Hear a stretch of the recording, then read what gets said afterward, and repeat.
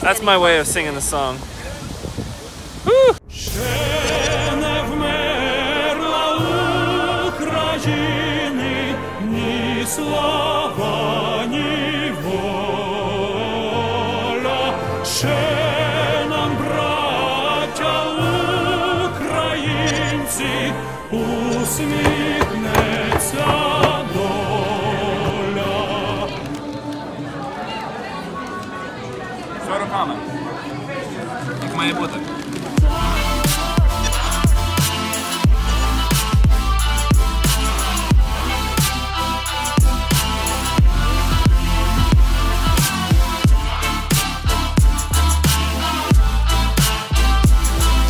So my parents left uh, Lviv in 1995, 23 years ago.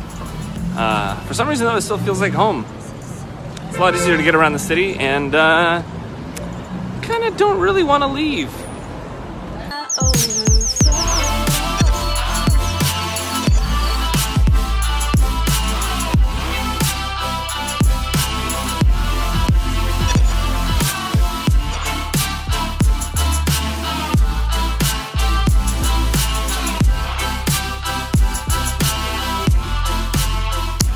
think we're actually having like the most Ukrainian meal we've, ever had, and that's like borich вареники, тертюхи, in this place, which is beautiful.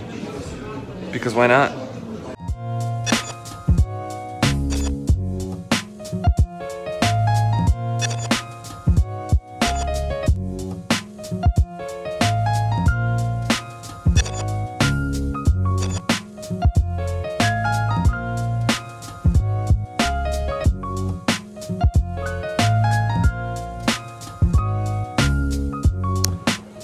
Тут народилась львівська кава. Supposedly coffee was born here.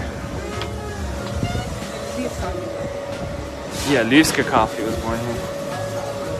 Hmm.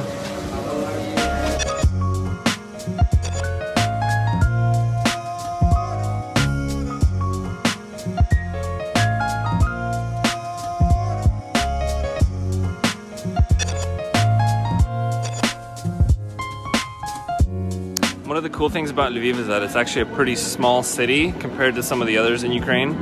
Um, and so on at night, like right now, it's uh, 8:35. We're just walking around. There's live music playing.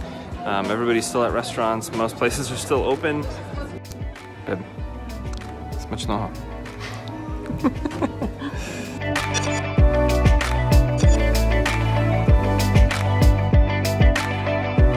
this is all made of candy. Babe, I took you to the candy shop. well, it's safe to say the trip to the candy store was uh, a success. We're stocked up for a while. Bag full of candy. I mean, it's for the kids, right, babe? Yeah? For the kids. For the kids, of course.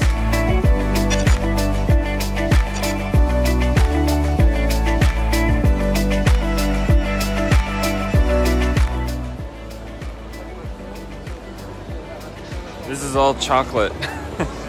wow. Billy Chocolat. Unfortunately, our Lviv trip is over for now. Maybe until next year. Um, we're on a train headed to Kiev, eating some snacks, sitting on this first class.